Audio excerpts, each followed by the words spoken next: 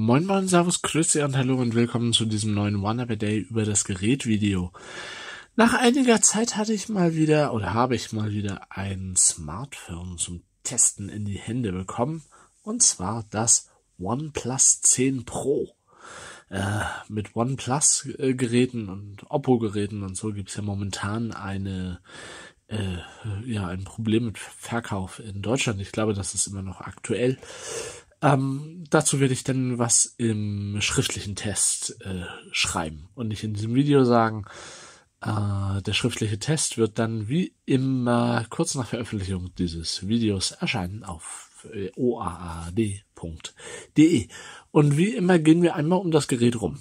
Äh, vorne das Display, klar. Auf der rechten Seite haben wir hier ich hoffe, man sieht das. Naja, so einigermaßen. Jedenfalls hier den Power-Button, hier den Mute-Switch, was ich ja bei OnePlus-Geräten immer sehr, sehr nett finde.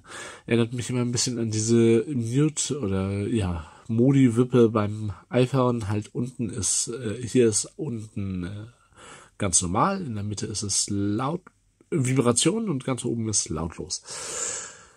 Von vorne auf der linken Seite hat man hier, wo mein Daumen ist, die äh, Lautstärke Wippe. Da, wie immer, würden mir ähm, zwei separate Lautstärketasten besser gefallen, aber das ist schon vollkommen in Ordnung. Auf der Unterseite haben wir hier einen Lautsprecher. Es ist äh, oben kommt dann auch noch Lautsprecher raus, so 70, 30, 60, 40 so ungefähr. Unten den USB-C-Port und die äh, SIM-Karten-Slot. Und oben haben wir dann nochmal hier, wo das Loch so ansatzweise zu sehen ist, äh, das zweite Mikrofon zur Geräuschunterdrückung und auf der Rückseite den großen Kamera Bump, äh, das Kameramodul, wenn man das so hält, sieht man, das steht schon relativ ordentlich aus dem Gerät raus. Finde ich persönlich gar nicht so schlimm. Übrigens mag ich diese, ich glaube, Jadegrün oder so heißt die Farbe. Mag ich tatsächlich inzwischen ganz gerne. Und ich muss sagen, mit den Kameras, diese Anordnung so auf der Rückseite, ist mal was anderes. Und ja Gott, warum eigentlich nicht? Ähm, entsperren wir es einfach. Äh, da muss ich jetzt einmal kurz die PIN eingeben und jetzt kann ich euch zeigen, was ich euch zeigen will. Hier unten under, dis, unter, Display Fingerabdruckscanner natürlich. Zack. Double tap to sleep, double tap to wake und zack. Gott, ist das schön schnell. Das gefällt mir richtig, richtig gut. Display gefällt mir überhaupt auch richtig gut. Äh, gehen wir einmal in die Einstellungen über das Gerät und sehen, es ist der Snapdragon 8 Gen 1. Äh, das war die Version hier zum Testen mit äh, 256 GB Speicherplatz und Android Version 12 mit äh, Sicherheitsupdate Patch oder Sicherheitsupdate Stand von Juni diesen Jahres. Wir haben jetzt bald September, Juni. Das könnte ein bisschen aktueller sein. Das muss man kritisieren. Ähm, nee, überhaupt, wo wir in den Einstellungen waren, was mir persönlich auch gut gefällt, ich hoppel da mal eben hin. Display, äh, Dark Mode habe ich natürlich eingestellt, wie ihr seht. Das Naturfarben-Display. Bildschirmfarbtemperatur automatisch je nach Umgebungslicht anpassen. Das ist wie dieses, ja, wie die Funktion halt beim iPhone und iPad, äh, was es macht. Also nicht nur nach, nicht nur der Blaulichtfilter, sondern dass es das halt anpasst die ganze Zeit im Prinzip. Das kostet ein bisschen mehr Akku, aber eigentlich möchte ich das persönlich echt in jedem Smartphone haben. Ähm, genau, hier habe ich noch das nochmal, da können wir nochmal durchgehen. Äh, 8-Core-Prozessor Adreno 37 ist die GPU. Äh, hier habt ihr nochmal die Auflösung 3216 x 1440 Pixel, 523 ppi. 12 GB RAM, 256 GB Speicher, äh, Android 12 habe ich gesagt. Ähm, Batterie ist jetzt nicht so. Jetzt kommt Werbung. Oh Gott. Diese Apps immer mit der Werbung. Und hier sieht man natürlich Qualcomm typisch, habt ihr natürlich wieder alle möglichen Sensoren, die da drin sind. Magnetometer und Pedometer und äh, wenn das Handy sich jetzt mal. So, jetzt schau an. Wake-up-Sensor und so weiter und so fort. Gehen wir da wieder raus. Was gucken wir uns noch an? Wir gucken uns die Kamera an. Die Kamera-App äh, wieder in Zusammenarbeit mit kann man das hier sehen? Hasselblatt. Kamera-App bietet zahlreiche Sachen. Ein Wort zur Kamera. Äh, am Anfang habe ich gedacht, ist nicht so ganz toll. Äh, ich ich habe selber, da, damit filme ich übrigens gerade auch ein Huawei P40 Pro, was für mich immer noch mit eigentlich das geilste äh, Gesamt oder das rundeste Gesamtpaket ist, was Kameras in einem Smartphone anbelangt. Äh, aber inzwischen muss ich sagen, ich mag die Kamera vom OnePlus 10 Pro. Ich mag die wirklich. HDR-Modus könnt ihr auf Auto schalten. Ihr könnt die AI, also wo es dann erkennt, irgendwie Bäume, Sträucher, Autos, was auch immer, könnt ihr einstellen. Ihr könnt hier noch die äh, vollen 48 Megapixel einstellen. Ähm, ihr habt hier unten natürlich Ultraweitwinkel, normal oder den 3,3-fach Zoom. Das ist übrigens nur 8 Megapixel. Ich habe mir dann angewöhnt, häufig darauf zu gehen und dann einfach auf 3, naja, 3,2 zum Beispiel zu schalten. Dann wird die Hauptlinse verwendet. Ist eigentlich dann nur ein Digitalzoom. Die Ergebnisse und die Farben sind meiner Meinung nach aber deutlich angenehmer und deutlich besser.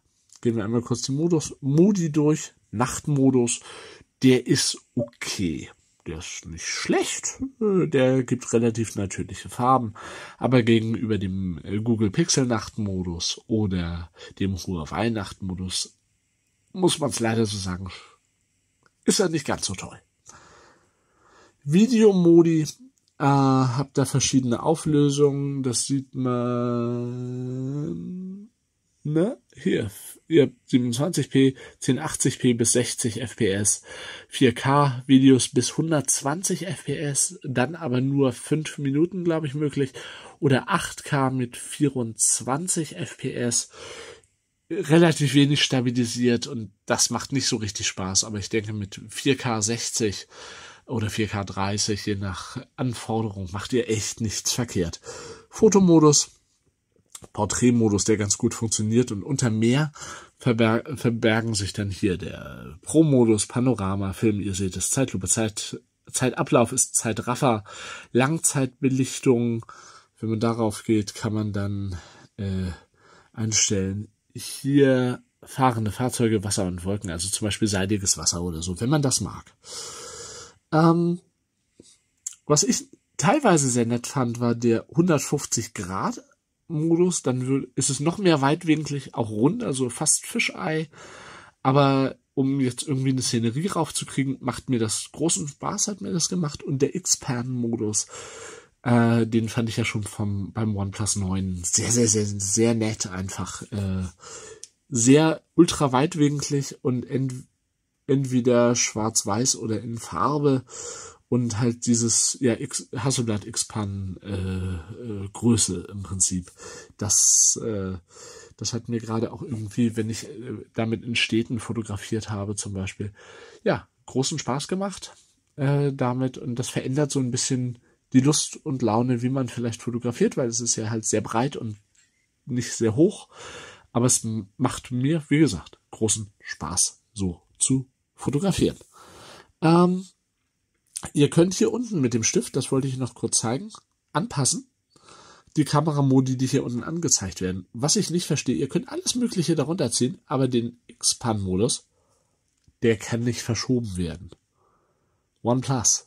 Warum kann der Expand-Modus darunter nicht verschoben werden? Das war einer der Hauptmodi, den ich nutze und den möchte ich anstatt des Porträts neben Foto haben. Und äh, geht nicht. Naja. Ja, das war die Kamera-App. Äh, einmal kurz gucken. Äh, ist ja äh, die ähm, Galerie-App. Äh, ich finde ja grundsätzlich äh, Vanilla Android ganz gut. Ich nutze ja selber das Pixel 5. Ähm, aber Google Fotos so, ja, zum, zum Sichern klar, aber ich mag immer noch die Anbieter, die eigene Apps haben. Also Samsung mit der eigenen Galerie und eigenen Dings und äh, Huawei und äh, auch OnePlus. Ähm, überhaupt sehr hübsch angeordnet und ihr habt, was ich persönlich auch immer sehr gut finde, oder was ich sehr, wovon ich ein großer Fan bin, genau wie mit den Erinnerungen beim iPhone zum Beispiel. Und hier unter Erinnerung, ihr macht Fotos an einer Stelle, viele Fotos und dann äh, ja wird halt, ähm, wenn das Gerät irgendwie am Strom hängt, äh, werden halt so kleine Filmchen erstellt. Äh, das mag ich persönlich gerne. Gehen wir wieder raus. Ihr seht, das ist natürlich rasend schnell, das Gerät. 8 Gen 1. Es wird allerdings auch jetzt in der Zeit, wo ich es in der Hand habe, hier hinten ziemlich warm. Nicht unangenehm warm, das nicht, aber ziemlich warm. Der Akku ist auch, ist natürlich ein Testgerät, weiß ich nicht, wie lange das schon jetzt und wie häufig das schon in Benutzung war. Aber der Akku ist, hm, könnte deutlich besser sein, meiner Meinung nach. Äh, ich bin über den Tag gekommen, das ohne Probleme, aber ein zweiter Tag daran war überhaupt nicht zu denken. Allerdings habt ihr ja, und das habe ich äh, hier, das äh, 80 Watt äh, Super VOOC heißt das ja. Schade eigentlich, dass es nicht mehr Warp Charge heißt. Das fand ich irgendwie cooler. Super VOOC, 80 Watt äh, Ladegerät. Und das geht einfach rasend schnell. Das kann man nicht anders sagen. Ich hatte übrigens zum Test nicht nur die normale Verpackung, sondern die Pressebox, sag ich mal. Da war dann auch noch zwei extra Cases dabei, unter anderem dieses Sandstone Case, das da konnte ich natürlich nicht anders, als das zum Testen zu benutzen. Ich bin immer noch ein wahnsinniger Fan der Sandstone-Oberfläche vom ersten L1 Plus One und finde es, auch wenn sie ja nicht mehr Sandstone-Rückseiten haben, immerhin schön, dass OnePlus noch die Sandstone Cases anbietet.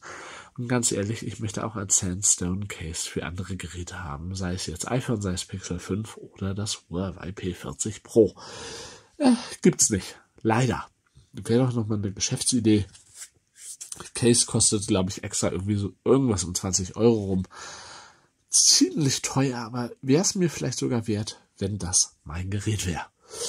Ähm, das war ja ein etwas längeres Video, als es sein sollte, mit äh, viel Gerede und alles andere, wie gesagt, erfahrt ihr dann im vollständigen Testbericht auf oad.de, der kurz nach der Veröffentlichung dieses Videos da veröffentlicht wird. Ich sage vielen Dank fürs Zusehen. Tschüss, bis zum nächsten Mal. Macht's gut. Ciao und bye bye.